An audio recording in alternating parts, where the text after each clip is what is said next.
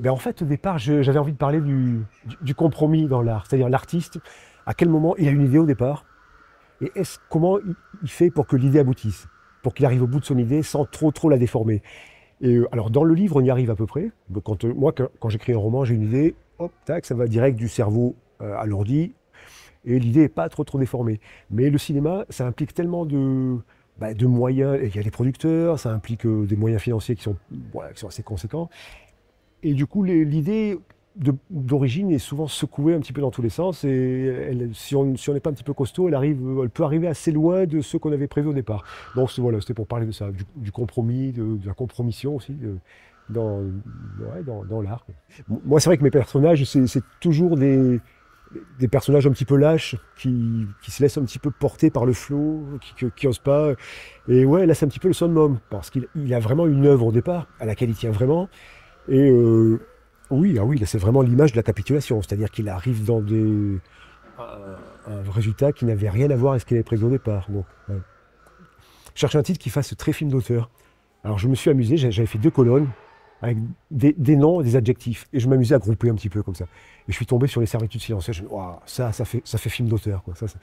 Et euh, ouais, ouais, lui, il a une très haute idée de son travail. Il a, vraiment, il a envie de faire un, vrai film d'auteur avec euh, des regards comme ça, ténébreux, hein, le noir et blanc, des dialogues très très poétiques. Donc ouais, il a, il a une, idée une idée de son projet très très Ouais, très très intellectuelle, très, très, belle comme ça. Bah, il y a pas mal de gens qui m'ont dit Oh là là, qu'est-ce que tu tapes sur le cinéma d'auteur? Mais c'était pas vraiment le, but. Moi, je, moi, j'adore le cinéma d'auteur. Je, c'était plus m'amuser avec quelqu'un qui a euh, ouais, une très haute idée de son sujet, mais qui par l'acheter finit ailleurs. Mais non, non, moi je, je dis souvent que j'aime pas les, les chapelles, j'aime pas les hiérarchies entre les, différents. J'aime autant le cinéma d'auteur que le cinéma populaire. J'aime autant euh, euh, Louis de Funès que Louis Garrel. Ou, Claude Zidi que, que, Godard. Enfin, vraiment, le spectre. Euh, je, dis souvent où ça me touche, où ça me touche pas, mais après les populaires, cinéma d'auteur, tout ça, qu'importe l'étiquette. Même en musique d'ailleurs, je, J'aime pas trop les étiquettes. si ça me touche, c'est parfait.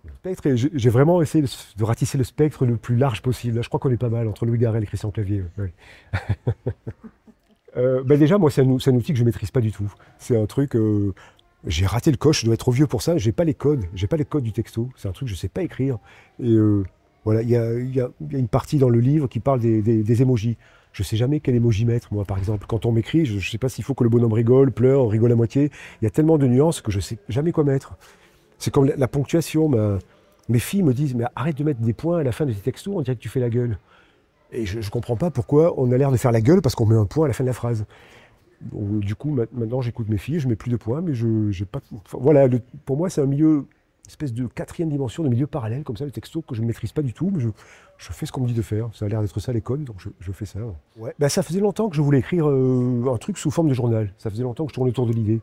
Et je ne sais même pas si à chaque projet, je me dis pas, tiens, est-ce que ce serait pas bien sous forme de journal? Chaque fois, je me dis non.